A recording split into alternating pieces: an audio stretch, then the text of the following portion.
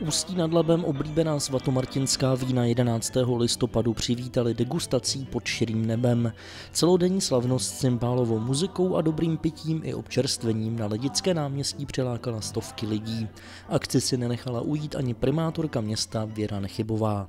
Já jsem moc nadšená, že taková akce se u nás uskutečnila již 50. Doufám, že jí to vydrží další, další desítky let a je na Lidickém náměstí patrné zájem občanů, je vidět, kolik lidí vešlo do ulice, jak se baví a je to příjemné.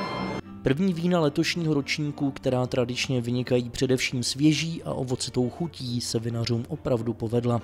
Potvrdil to i hejtman Ústeckého kraje Oldřich Bubeníček, který tuto akci velmi podporuje. Jednak si myslím, že je to hezká taková tradice, eh, jednak je to ukázka, co naši vinaři umí vyrobit a já si myslím, že letošní počasí jim významně nahrálo, takže to víno je kvalitní. Důležité je, že se tady sešlo hodně lidí a že se lidi dobře baví.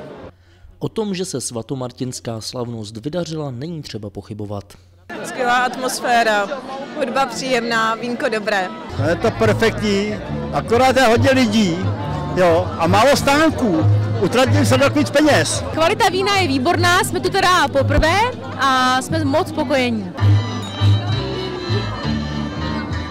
Svatomartinskou veselici na Lidickém náměstí každoročně organizuje doktor Pavel Kacerovský, který v Litoměřicích pořádá i prestižní mezinárodní soutěž a prodejní výstavu vín s názvem Vinařské Litoměřice.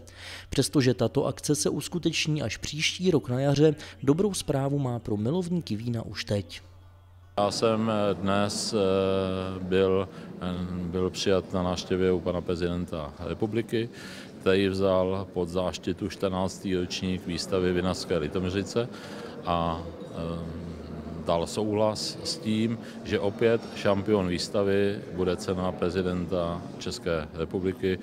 Šampion výstavy obdrží prezidentský pohár, z čehož máme velkou radost. Je to dobrá zpráva pro milovníky vína, pro vinaře i pro Ústecký kraj.